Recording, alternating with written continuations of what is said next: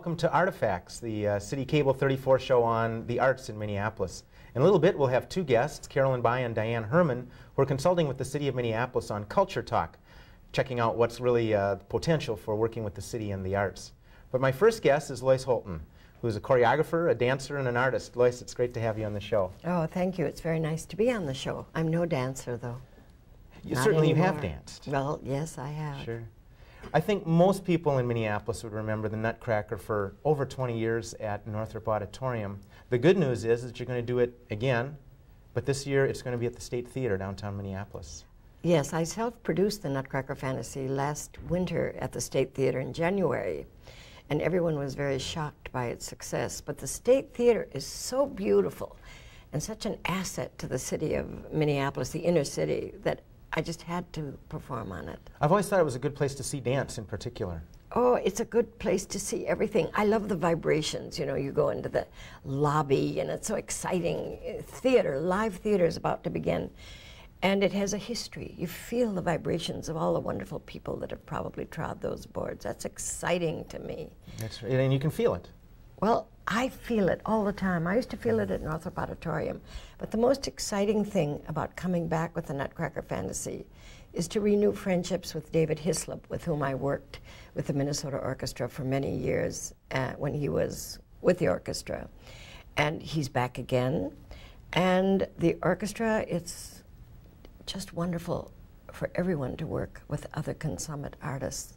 And they're playing the music, you're Yep. choreographing, and this is in November, next month. No, it's in December. I'm, I beg your pardon, it's uh, Uh-huh. December at the State Theater. it's definitely Christmas. That's right. And when does it open? Do you know the date? Yep, December 10th. Okay. And, And then we go for Thursday, Friday, Saturday, Saturday, Sunday, that weekend, and then we also do it the next weekend. So we've almost hit Christmas Eve. Yeah, just up to the date. Now you mentioned you self-produce. Why is that? What is it about self-production that uh, you needed to choose Well, that? I was fired in 1986, and we had performed the Nutcracker for about 23 years, 22 of them with the Minnesota Orchestra. It was wonderful, and there was a real collaboration on the local scene. I felt that was vital and important. And I think in the 1980s and late 1970s, the arts began to change. You know, they began to shift. I think vision didn't count as much as the net worth on the audit sheet.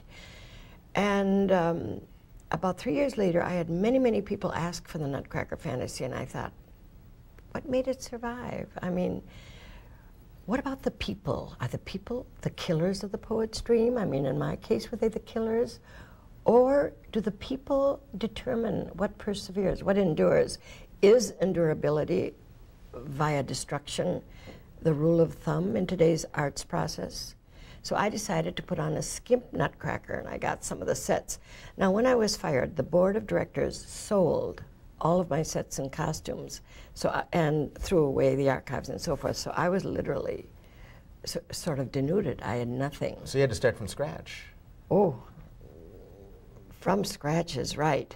But I decided I would use the term skimp, which is like a T-shirt, because I was making costumes out of T-shirts for five dollars and ninety-five cents from Target, local. And uh, so I did a skimp Nutcracker Fantasy in January, and it sold out. People loved it. So when the State Theater started being renovated, I went over there one day because Fred Crone's a friend of mine, and it was so beautiful and breathtaking. I said, would you let me do the Nutcracker Fantasy here? Five performances. He said, yep, you have it. So we had no orchestra, couldn't afford that or anything, but we brought the sets from the people who had purchased them and rented the costume, my old costumes, and got it all together, and we produced it at the State Theater, and it was a hit. And you're doing it again. And David Hislop came, Mm-hmm. and he said, How about doing it with the Minnesota Orchestra? So here I am. When I, we've talked earlier, you and I, about the need to keep culture in the city. And you've traveled a lot. You've seen a lot of other cities in this country. And you've been abroad as well. Yes. Can you talk a little bit about what it means to try and keep culture in the city and what happens when it doesn't stay in a city? Well, in the first place, in most of my travels, the inner city has been dead, except for one area, and that's a cultural corridor. Many cities got together and did like uh, we've done here to the State Theater. They've recovered and renovated the Orpheum theaters and the Shubert theaters and all the theaters that have existed throughout the um, country. And they have made it available to their opera, to their theater, to their musical comedy, to their dance, and to their orchestral and choral associations. So many of the places, like let's say Tulsa, Oklahoma, Seattle, because of the World's Fair, Omaha, uh, they have kept those cultural corridors very alive with activity, but they also represent the city and the area from which they come. And then, of course, they supplement this with traveling road shows and so forth. But the major thrust is for the citizens who represent the arts from the in the city in the center cultural corridor from which all of these things emanate. It's so exciting. But for example, in Omaha, uh, we stayed at the Red Lion Inn. Very difficult to find any stores, any available availabilities for purchase. Let's say of makeup and so forth. You have to go out to the mall. So other than maybe culture, the, the inner, the, the downtown areas of the many cities The downtown are area is dead. I'm talking about Louisville, Kentucky. I'm talking about, you know, cities that, Atlanta. Mm-hmm. I'm talking about many of your major cities. And, And uh, how would you compare Minneapolis to some of these other places like Louisville or Omaha? Well, Minneapolis is a miracle because it has a wonderful inner city. Oh, I'd hate to think of losing it. I just think the cultural scene should be more active and dynamic than ever. I think arts, some, something like dance and theater and so forth, they're energizing. They use all of that tremendous energy and vision that the young people have. And that's what we have to do utilize that energy that's part of their nature, part of their spirit. And you've talked about the art, all the arts really coming from the street. Where, where do you get your inspiration? Where do you see art? And I know you've been on top of issues that other folks hadn't even seen yet, and you've put it on stage in your dances over the years. Well, I've been lucky enough to be asked to do my art in all of these cities. So I only know them from a cultural standpoint or from what I can envision in uh, the, living in the inner city. It's not easy going to all of the country and the cities and living alone in the motel right in the inner city and know you can't go, uh, you really can't go out at night alone mm -hmm. because there aren't the restaurants, there aren't the, um, the bistros, there aren't the fun cafes and everything that Minneapolis has. I mean, you just sort of sit so in your room. it all works here. It all works, and Minneapolis has to keep it working. Mm-hmm. I, you know, it has to keep the city streets safe. And I think if we could only utilize physical and energetic um, sports areas, workout areas, dancing areas, um, study areas, arts areas. Activate it. Minneapolis is incredible from the inner city standpoint yet. But we know that there are many troubling moments, especially when you put on television in the morning and the first thing you hear about is who was killed last night Yeah. and where. It's a sad way to wake up. I want to get into some tapes you brought of some of the dances. Yes. And they're going to put it up on the screen for us now. We can take a look at it and maybe describe to our viewers what they're seeing. Now, these are dances that you've choreographed over the years. Yes. And I think it's coming up right now. What is it that we're looking at? From Shakespeare's Romeo and Juliet, and danced by two beautiful dancers who were part of the Minnesota Dance Theater in the fateful year of 1986. And uh, they now are in the Milwaukee Ballet, but they come every summer to dance for me in my July concerts. They're beautiful, Evie and Willie Shives.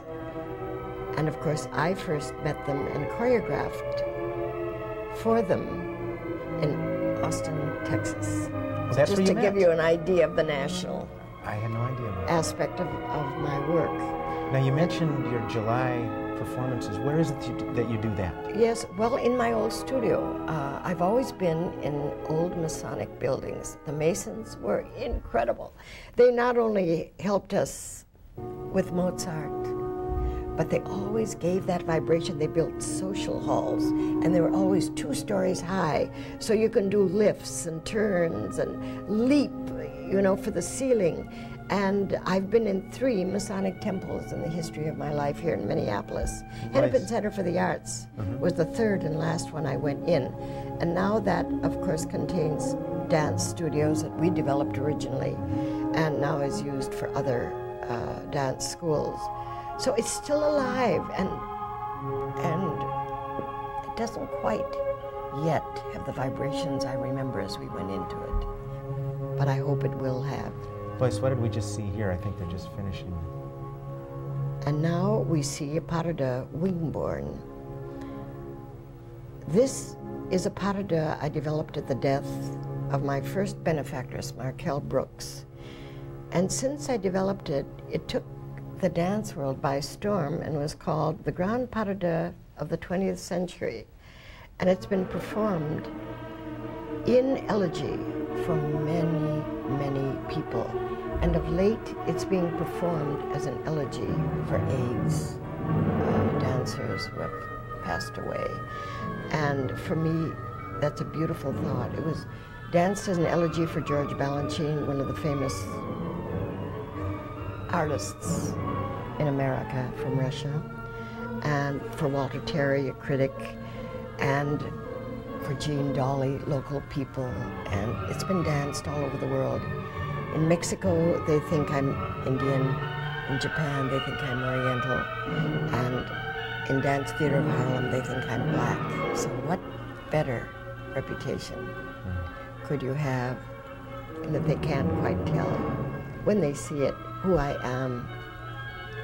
And this is Poem for October, a, uh, a dance I created this July, and was a new dance done to the music of John Corigliano, whom people heard in the Metropolitan Opera Ghosts of Versailles, and a wonderful young composer, beautiful, and I used his music. And very fitting that this show is airing in October. Thank you for uh, yeah, creating I something. love October. It's a wonderful month It It's nice.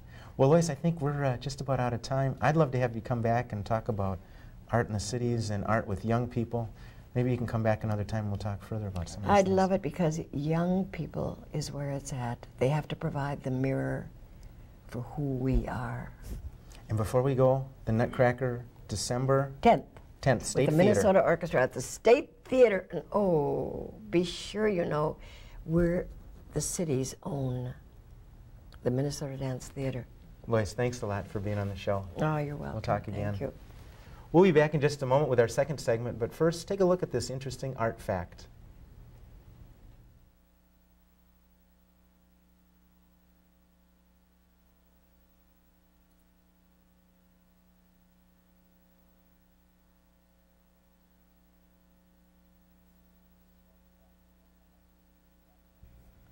Welcome back. I found that to be an interesting fact about the Sculpture Garden myself.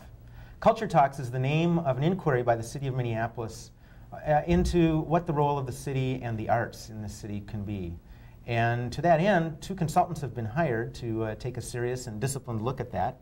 And I'm uh, happy to have both of them here with me today in this show. Carolyn Bye and Diane Herman, welcome. Thanks for being on the show. Thanks, Glad Bill. you could be Good here. to see you. And we're going to get into some specifics, but I'm wondering if maybe you could start with just a quick description of what Culture Talks, which is the name of it, what that's about and what you're intending to do. Sure. Culture Talks is uh, a wonderful opportunity um, funded by the Dayton Hudson Foundation, a very generous grant from, from the foundation, um, to enable the city to take, I'm not sure it's totally serious and disciplined at all times, but to take a fairly systematic look at what it is that the city does um, to, in terms of interaction with the, the many arts and cultural activities in this community. And as we all know, um, Minneapolis uh, is known for the richness of its arts and cultural community. Um, but no one has really systematically looked at how city government impacts arts and culture. Um, so what this project does is gives us the, uh, the ability to, to take a look at um, what it is that the city does. And as we have taken a preliminary look, we see that there are many, many agencies. There are um, in excess of 15 city governmental agencies which have uh, impact on arts and culture in the community. Um, so we can pull together an understanding of what it is that we do. Our sense is that um, this, it's somewhat fragmented and not really well understood. So one of the, the objectives is to understand what is it that we do, uh, and secondly, and very importantly, uh, go out into the community and ask the question, how are we doing?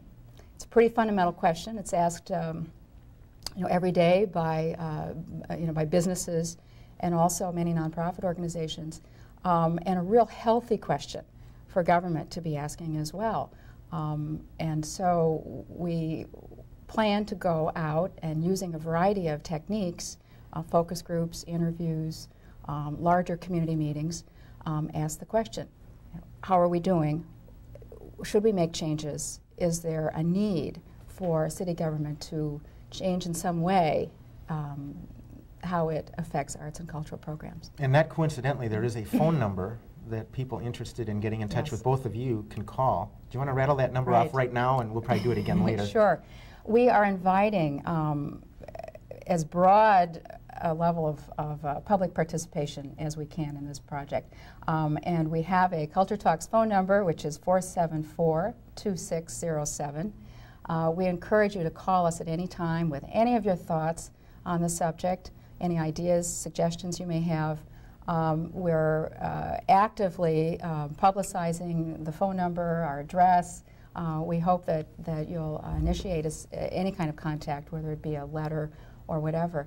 Um, in addition, and importantly, when I talked about the focus groups and the in-depth interviews and the, and the community meetings that Carolyn and I have are in the process of planning over the course of the next six months, our goal is to uh, receive information, receive opinions and ideas from at least a thousand people in the arts and cultural community. Pretty good sample of uh, Uh, opinion from. Right, that's our city, goal. yeah. Whether it be, you know, whether it be um, organizations which uh, produce, present arts programs, uh, or or whether it be uh, people who uh, benefit in so many ways from the from the programs that are out there. Carolyn, when we talk about art, culture, pretty broad, broad topic here in Minneapolis, uh, and we're really blessed, Mm-hmm. as we're just saying, with lots of art. I mean, uh, you can hardly shake a stick at it. What are you looking at? Where, what corners are you going into? Who are you going to kind of bring under the umbrella and talk about? I'm glad you asked that. Um, we view the, the term of arts and culture very broadly. And we're not only going to be talking to the people who are directly producing art um, as artists or administrators or people involved with the more formal organizations, but we're also talking with people in the community whose neighborhoods are having arts projects and churches who get involved in arts projects, as well as the consumer, the person who um, just simply believes that the arts are important to them and to their community, whether they participate themselves or whether they uh, participate by driving by a sculpture that's on their the street going into their neighborhood. Um, but we're looking at very broadly defining the arts and and how how the city can more effectively make certain that the arts continue to be such an important part of our lives. And I did happen to just bring along today an example in, in this morning's paper. There was a wonderful article, and I don't know how well you can see it, but the, um, the article is about murals that a group of young people were doing in the Phillips neighborhood on the sides of buildings. And Hold that up for another second here, maybe they can get the, a um, good shot on it. the thing that I loved about the article is that this is what a big piece of what we're talking about when we talk about the arts in our community. I want to interrupt for a quick second. The juxtaposition here of the murals help youths picture a better world, right next to a story about a very tragic situation here with some young kids in a game that turns deadly. Positive al- uh, alternative for kids to get involved in. Tougher luck here. Well, and think of the, uh, the stories we've seen um, recently about the, uh, the shooting of the policeman um, in South Minneapolis. Uh, it's, it's, I think one of the things that we're seeing as we, as we look at the way, the various ways that government can use the arts um, in a positive way um, is that many communities are using the arts as a way to address social issues. Um, and certainly the stress the stresses in this community, the stresses in many of our neighborhoods. There are, this is one example, and there are countless examples. As we look at the kinds of things the city is doing uh, in the neighborhood arts programs, countless ways that we're using the arts very constructively um, to help people cope with the changes that are occurring um, in our city. To bring, we're bringing communities together. I, th I, think that mural project is a really good example of what Diane is saying, that the, it both, the kids who participated, their learning went far beyond how to put paint on a wall effectively. Um, and they got into many other issues using art as the basis. And then the product of what they did has incredible value to the people both in their community as well as any of us who drive by that community and those buildings and get to see what the, the young people produced. I think what Loyce was talking about just before us is, is exactly right. The arts in this community are incredibly vibrant and incredibly important in the very fabric of what we, how we relate to each other and how our community functions. And so really what Culture Talks is about doing is to help to capture that, both in terms of what we're already doing, the city, what the city is doing, what the people in the communities want, um, and how best to be able to do that. So we're not only asking the arts community, what do you need the city to be able to do? We're asking the person on the street, why are the arts important? And we want to hear that. Well, now, you've mentioned, and Loyce earlier mentioned, the, the, richness of the arts in Minneapolis, and I suppose to some degree we take that a little bit for granted, and this is a good opportunity to take a look at it. You've both been in the community long enough, within the arts world and in the broader world, in, in business and social life. What is it about Minneapolis, the Twin Cities, that has engendered so much art culture? Are we that different, as Loyce mentioned, from Omaha and Louisville and Atlanta? What do you mm -hmm. think from your personal perspectives and backgrounds? Well, there, I think there are a lot of theories, and, and probably there are many, many factors that contribute to, to it. It didn't happen overnight. It's a, you know, a long history of certainly uh, a high level of support on the part of um, our major corporations and, and our foundations, very generous philanthropic community that has, has uh, fostered this. Um, I, I, think that it's, it's, it's uh, easier to talk about what is and how we compare than it is to talk about why it happens to be this way. Um, and if you look at the numbers, um, it's very clear that today, um, Minneapolis, uh, on many, many measures, um, on a per capita basis, um, has the highest level of artistic acti activity um, in this country. And in addition to having, you know, the, the, most, the largest number of theaters, the largest number of musical groups, the largest, you know, audience, uh, audiences, and so on and so on, all those measures. In addition to that, um, the Minneapolis community and the Twin Cities community, um, we need to think a little more broadly when we talk about the arts community, certainly. Uh, the Twin Cities area is, is the home of some of the absolute jewels um, of their kind. Um, jewels in theater, um, nationally known in, in, um, in uh, the publishing industry, certainly, and, uh, and many other categories. Minneapolis is not only known for its high level, but also for its very special uh, organizations that are internationally known mm -hmm. in their field. Okay. Um, it often surprises people that we have a very strong science fiction community here, or mm -hmm. sort of classic American ballroom dance community and things. And it's like layers of the onion. You can sometimes pick things up and do that. You mentioned the 15 or so city agencies that one way or another you've discovered are involved with the arts or culture, broadly speaking. And I suppose the general viewer would be thinking of the parks. They certainly do a lot of programming. Mm -hmm. There's an arts commission. Um, but I'll bet some would be a, a surprise. Have you uh, found any surprises so far in your digging? I know you've really just started this process, but any um, mm -hmm. surprises that you've seen or, or questions that haven't been raised? Uh, prior well, to this? I think some of the, just to speak to what some of the agencies or roles are, um, it's not only, what we've been trying to capture is how does the work of various agencies also affect the arts? So yes, the Park Board has art, arts programs in the community. That one's pretty clear. But the decisions that the tax assessor makes have direct implications for many arts organizations. Mm -hmm the permits that are issued for, for independent artists, for organizations who want to do special events, uh, for uh, the potter who wants to build a kiln in their yard. Um, all of those kinds of issues which can be either helpful to uh, helping the arts to thrive or can kind of put their thumb on how art is able to just simply continue and to flourish are part of what the city, in defining its relationship to the arts, wants to define. Um, but we have a film and recording office that helps uh, productions when they come into the community and brings an enormous amount of money into the community. We have, we deal with heritage preservation and buildings and uh, the planning of both city buildings and communities and how they're built. And so it, it's very intertwined. And I think there are a lot of things that we don't think of initially that, that oh yeah, that would affect um, uh, uh, an individual artist who needs to have a, um, a, space to do a certain kind of work mm -hmm. that would affect um, whether or not that person could do their work depending on how rules and regulations are made. So a part of that will be to, to look to the artists in the community and say, what are some ways that you have been helped by the city or that you've tried to do and that you found it frustrating to figure out who could help you to answer some of those questions? Now, I know one of the reasons mm -hmm. you as a team were hired is that you have backgrounds in demographics and business relations and that. You must have um, sort of an ongoing finger to the pulse of demographic changes. I mean, something you just mentioned, Carolyn, made me think of that.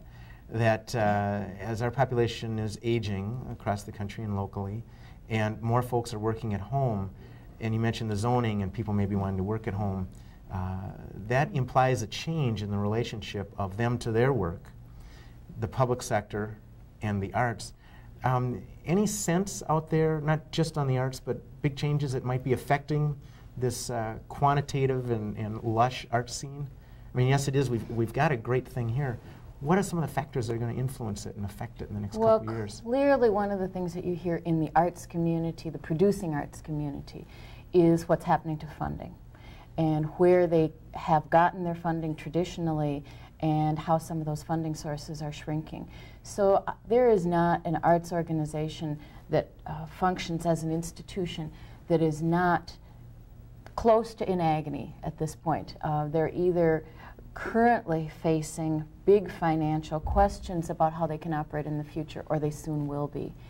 Um, so that, I mean, that is clearly one, one large piece. Another is that our tax bases are changing and the city demographics are changing.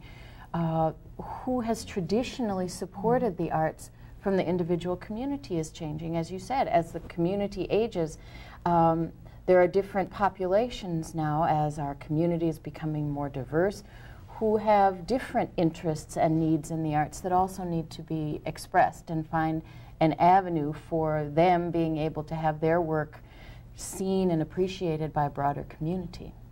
Sounds like a lot of big issues as well as some very specific yeah. ones. Ladies, we've got to get going. The end of this segment comes all too all right. fast. Great. Once again, that number, if people want to get in touch with yes. Culture Talks. Please, please uh, feel free to call us. Um, we'll set up a time to, uh, to hear your concerns. Um, the number is 474 2607. Okay, thanks very much for being on the show. Thank you. Great. Look forward to being in touch. Thanks. Great. And if you have general questions about what you've seen or heard on this show, call the City Cable 34 hotline 673 2234 and stay tuned for a quick calendar of events in Minneapolis. We'll see you next time. I'm Phill Lindsay.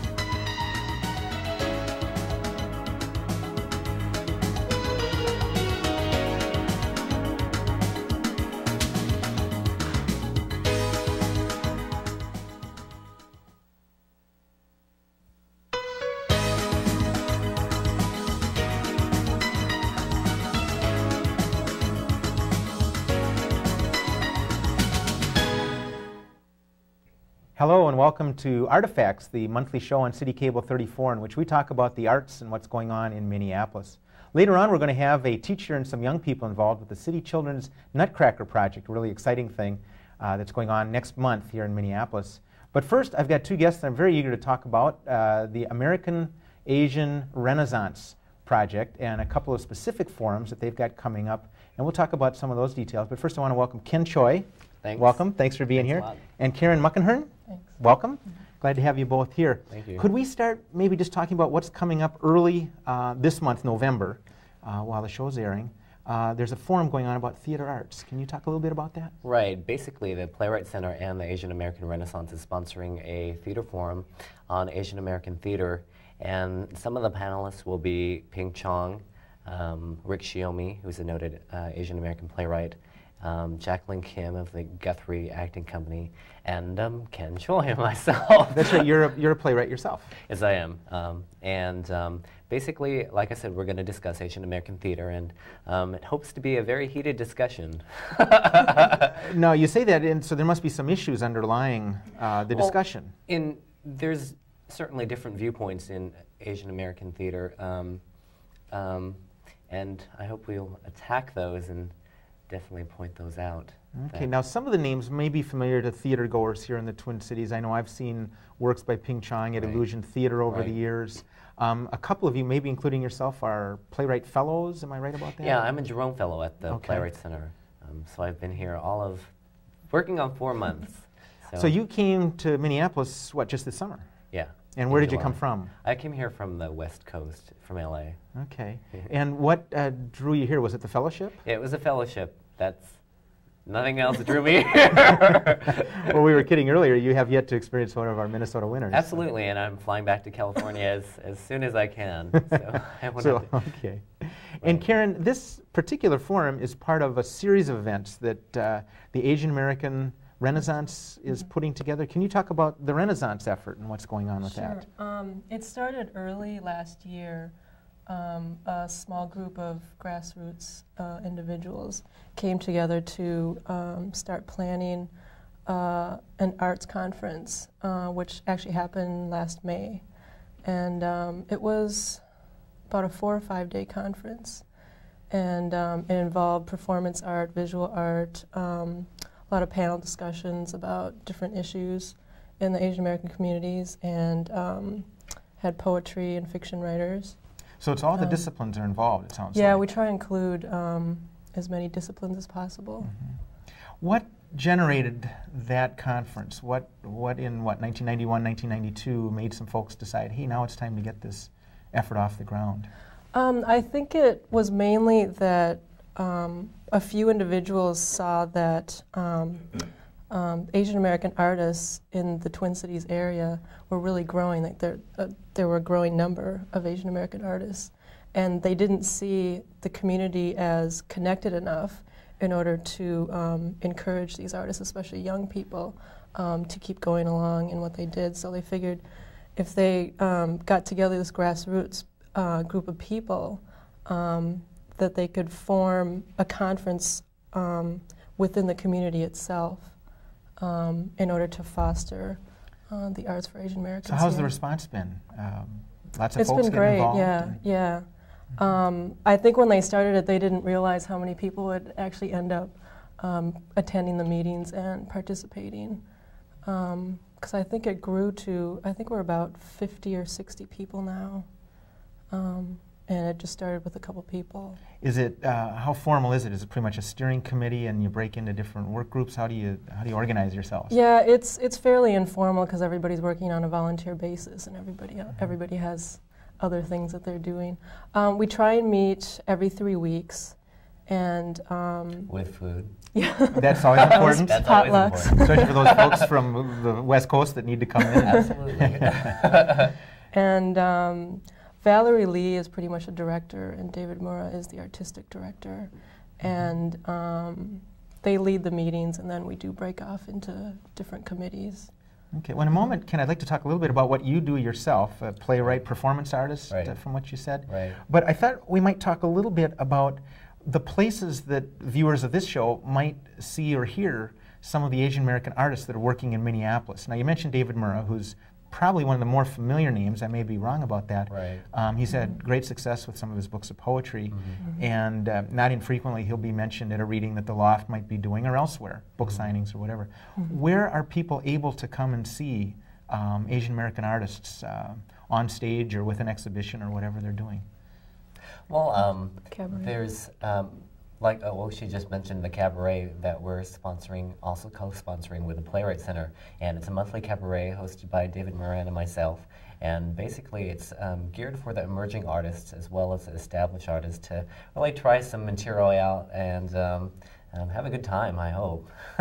um, basically, there's also a theater called uh, Theater Mu, which is headed by Dong Lee and Rick Shiomi and Martha Johnson, and um, they're starting to emerge as at the forefront of Asian American theater. Now, the cabaret, just so that our viewers might be able to get a, an idea on that, that's coming up later this month in November. Right, that's on the 21st of November at the Playwright Center. Okay, and that's over on East Franklin. East Franklin, 23rd and Franklin. And um, do you have a phone number they could get more information? Absolutely, it's uh, 646 3408. One more time, 646 3408. You can tell somebody who's been on stage a while. That's good. well, now you, you came out of Southern California. You're a playwright, performance artist. What kind of work do you do? Does it particularly have Asian American themes, or do you do any theme that comes into your own heart or your mind? Well, or I what? deal a lot with Asian American themes and uh, gay and lesbian themes, um, people who are disenfranchised from society's um, structures. Um, and actually, I just completed my one man show at the Minneapolis Theater Garage called Buzz Off Butterfly. Oh, that was your show. How was that received? Did you get? It was really well received. I'm really happy. Actually, I didn't expect to do my show here um, because I didn't think there was a big Asian population in Minnesota. But when I came here, um, I found out that there was an Asian American Renaissance in David Mura, and, and um, that's why I'm enjoying. so that was in addition to your fellowship. I mean, you came directly for that, and then found these other efforts that Karen and, and folks absolutely. The day after I arrived, um, no less than 18 hours, I was taken to an Asian American Renaissance meeting, and, and from then, you know, I thought I would have some time off after my road trip here um, and stopping over at Las Vegas, but um, didn't happen. I'm still Working you hard. Working hard. That's good. Can you talk a little bit about some of the things that you're doing that we might be able to see here, either this month or Um, coming up? Let's see. I think I have a performance at the university with my one-man show. Mm-hmm. Um, and like I said, Buzz Off Butterfly and um, Describe that a little bit, if you would. What what's Buzz in Off that? Butterfly um, is basically about a person who chooses insanity. um, and it's about a performance artist called Ken Michael Chow. Um, big difference between myself and him. um, and um, he goes home and tries to encou- or tries to deal with his emotional and psychological past. Okay, sounds interesting. Yeah, um, um, I hope to bring it back to Minnesota. That'd be great. Yeah. Um, you alluded to some of the issues that the upcoming forum Mm-hmm. um, held at the Playwright Center might get into. Do you want to elaborate, either of you, on some of those uh, issues?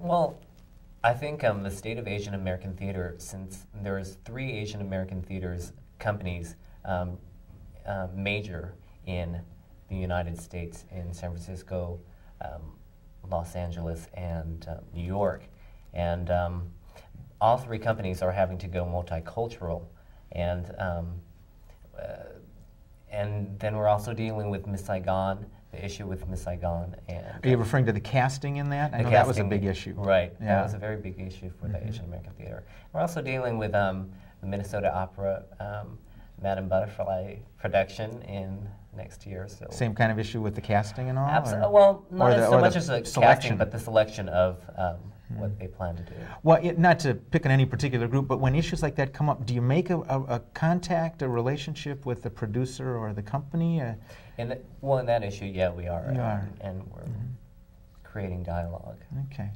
Um, I want to get back to Karen with a couple of broader questions, but um, while we've got you here, and, and I love to do this when we have visitors in from other parts of the country, what has your impression been of the, the Twin Cities, the Minneapolis art scene, eh, whether particularly in your field or just in general? I mean, how would you compare or contrast it to what you are temporarily coming from in Los Well, Angeles? um, as far as Asian Americans, I think um, because of the Asian American th- uh, Renaissance and because of Theater Mu, um, I think um, the Asian American theater um, is burgeoning here. It's, it's really emerging as a strong force as opposed to um, LA, where there's a lot of backbutting and competition. So I think Within the community, you're saying. Absolutely. Yeah. Um, um, there's different factions, but here we're all starting out, so we're we're all pulling for each other. Could that be partly a function of size too? That when you get more people within a community, there are more factions that build, or It depends. It depends on what structures are created. okay. Well, and that actually ties right in with my next question, Mm-hmm. Karen. If there is one that you could share, what kind of historical background locally here in the Twin Cities has there been for Asian American art? Um, I know as a young person, one of the great thrills was to see Randall Duk Kim uh, over at the Guthrie, for instance, and see his acting. And then he went down to um, Spring Green, where I think he's still very involved down there with that theater company. But other than that, I have to plead ignorance and not know, in terms of Asian American issues, what's been going on here in Minneapolis. Any context that you could put it in for us?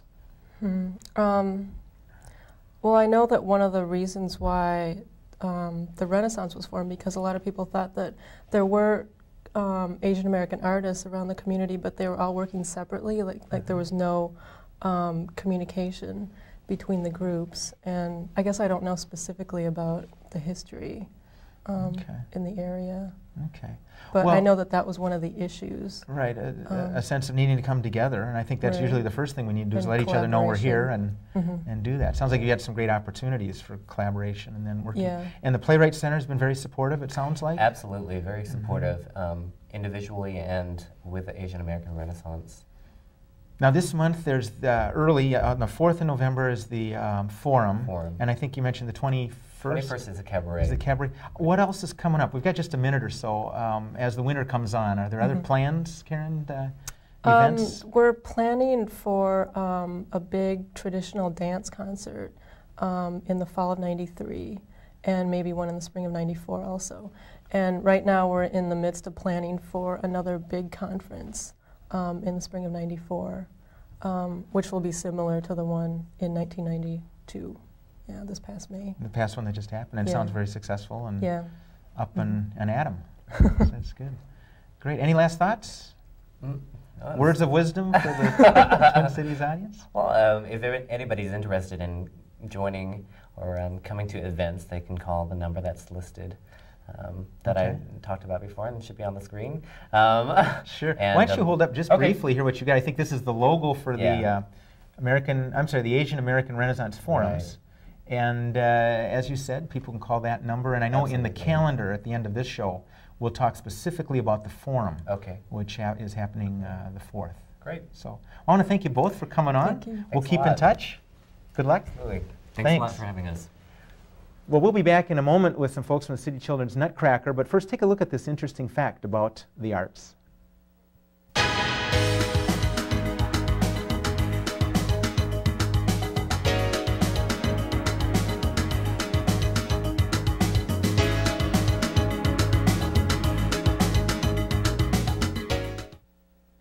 Welcome back. In this part of the show, I'm very excited to have some guests that are part of a project that I've had a little bit to do with this summer.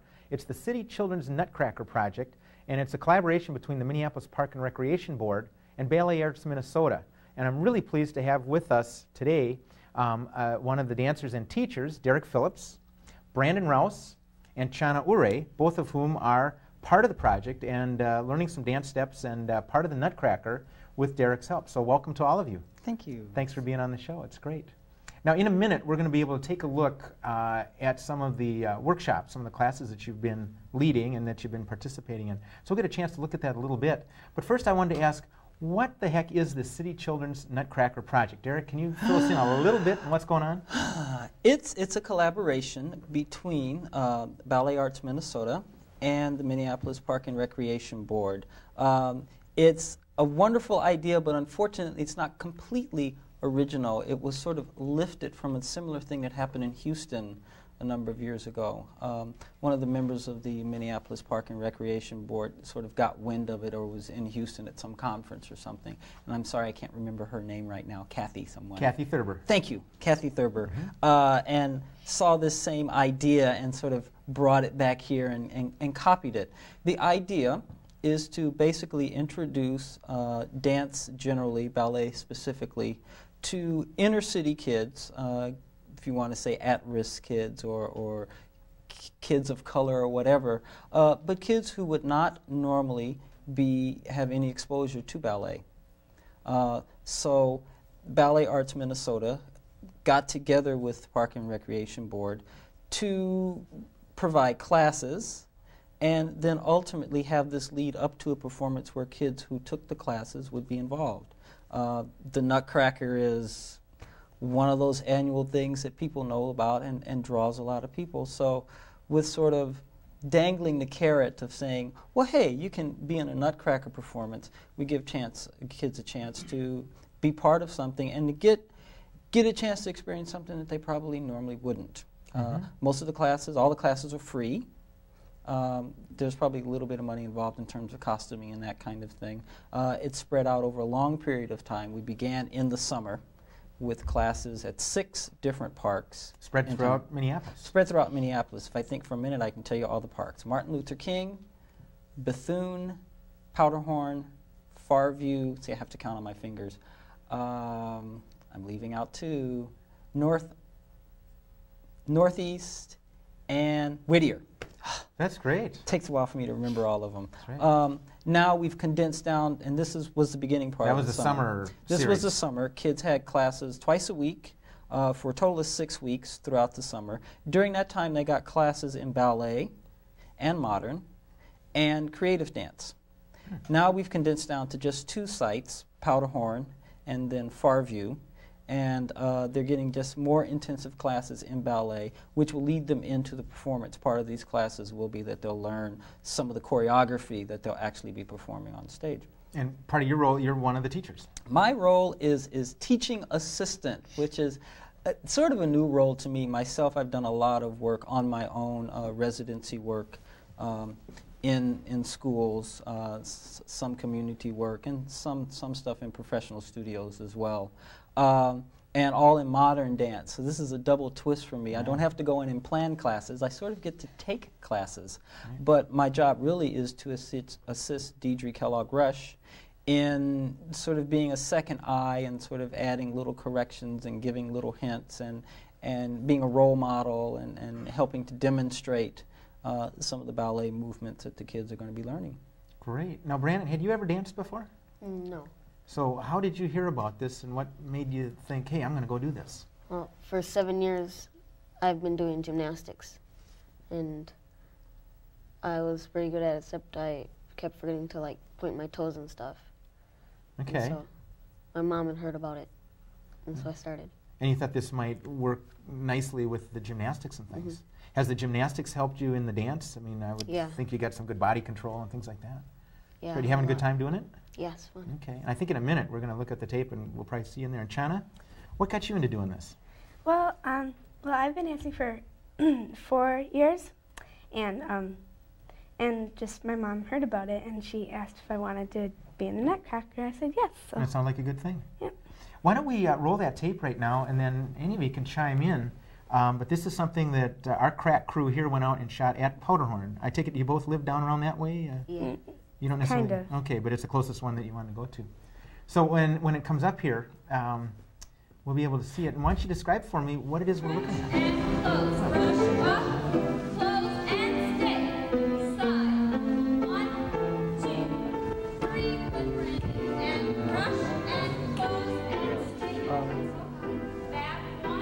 What, you're seeing here is one of a whole slew of exercises, um, all of which are basically designed to uh, strengthen legs. There's our friend Chana with her wonderful straight legs and her, her big toe that curls up. Um, part of part of the classes too, which Derek trying to correct a little back, um, is is is about um, oh what can I say style in class. There's that arm correction. Remember that one? Yeah. See, I get excited when I see this. Um, but it has to do with um, alignment of the body. Um, things like, for example, the plies that are happening here. We try to keep the back straight, so a plie movement isn't a bending over movement, but it's an action of the legs and the knees and has to do with the alignment of things. Oh. Chana, I have a Yeah. sense you want to say something. Me? Is it unusual to see yourself? Yes. Oh, I don't so like seeing myself to on watch TV. cell phone video. Yeah. It hurts to watch yourself on video, let Now, me tell you. have either of you two performed in front of people? I suppose as a gymnast, you've been out in front of Yeah, crowds and audiences. How do you feel? Is that are you comfortable doing that? sometimes. Sometimes, Sometimes I get a little nervous. a little nervous. Yeah. Is this something you think you'll keep doing, Brandon? Yeah, I okay. think so. Well, here's a question. I know, and this I think is true in a lot of classes. Are there a lot of other boys doing this? No, just me and my brother are the only one. Is that right? At At this Powderhorn particular Park. site. At Powderhorn. Yeah. Okay. We have boys involved in some of the others. Yeah, and in fact, um, early on in the summer when we first started the classes up, the, the, the twice a week, six week uh, sessions that happened, uh, Deidre and I were both really surprised at the number of boys that showed up to take the class. Uh, traditionally, men don't do dance, or if they do get involved in dance, they they get involved later in life. I'm a very good example of that. I didn't start dancing until I was in college. Um, so there's always, for me on a very personal level, there's always a real commitment for trying to get boys at least exposed to dance to let them know that this is one of a lot of other things that you can do. I've done workshops, for example, that try to get boys involved in dance through a sports angle, dance and athletics or dance and sports. Uh, this particular program doesn't have that component, but uh, we were really sort of pleasantly surprised by the number of boys that showed up very much on their own and uh, came without a lot of encouragement from, from a parent standing behind them and saying, come on, Johnny, let's go, let's go. But came on their own, showed up at the park regularly, on time, and stuck with it for most of the six weeks. And that's continued. As usual, we've got more, boy, more girls than boys in, in the classes. But we've got some, and we're real pleased. That's we're great. really pleased about that. Now, are both of you hoping and expecting to be part of the uh, the Nutcracker itself when it's performed in a month or so? Yeah. Yeah. Okay. How does that work? Now, you're obviously in these classes, and those look like pretty serious classes. I mean, they're straightening the legs and getting this. This is not just uh, a casual thing. How will it work for you to get involved in that? Is there a selection process, or There is a selection process. Uh, it's I would I would venture to say it's sort of informal. Mhm. Um, we look at how the, how the kids are looking in class. Um, as dancers, part of our business is one of reading bodies, Yeah. and and bodies tell us a lot. Um, even just from looking at the video, you guys look real good on the video, by the way.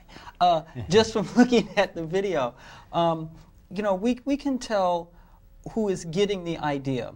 Um, and from that, uh, they'll begin to learn uh, some of the actual choreography that we'll be performing. Uh, we, we've got a bunch of kids, you know, so that, that will have something to do with the selection yeah, I process. heard that just there could be upwards of 60 young people involved. I mean, that might be the We've got, yeah, we have got about, between the two parks now, the two, the two sites that we're doing right now, we've got almost 80 kids, maybe about 70 That's kids. That's amazing. Yeah, Powderhorn is really huge. I think we're about at 40, and I think at Farview we have That's about 30. That's a lot. That's a challenge to teach. That's a challenge to teach. That's also part of the reason that I'm assisting mm-hmm, Deidre. Mm-hmm. It's it's a big job to mm-hmm. try to get um, what is actually a, a great deal of precision. That's a lot of a lot of hallmark of, of ballet in particular that involves lots and lots and lots of precision. That precision doesn't come fast, and, and Yeah. it also requires a lot of individual attention, which is hard for one teacher Well, I to want to ask one of the dancers, Chana, how hard is that? Are- Is this, uh, you know, it, you did look good on the on the tape there. How hard is that with the instruction? I mean, uh, is it a struggle? Are you getting it? Uh, Not since it's such a big class. Like, I'm not like always. Um, you know, like there's so many kids that that.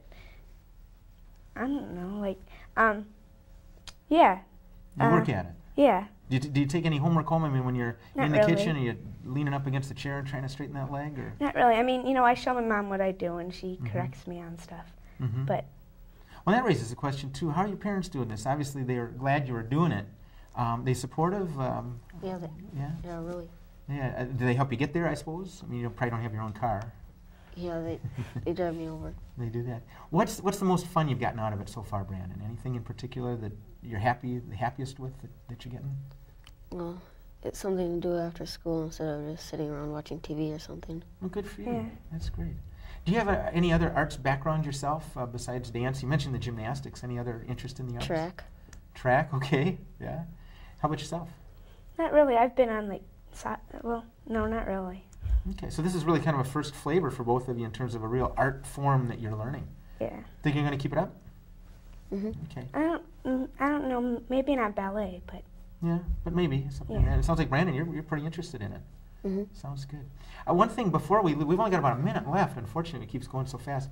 the Dance Theater of Harlem is going to be involved in this. Um, Another part of the project, Somehow. again, this was a direct lift from the Houston project, is, is that uh, they will be bringing in uh, principal dancers for the Nutcracker uh, from Dance Theater of Harlem.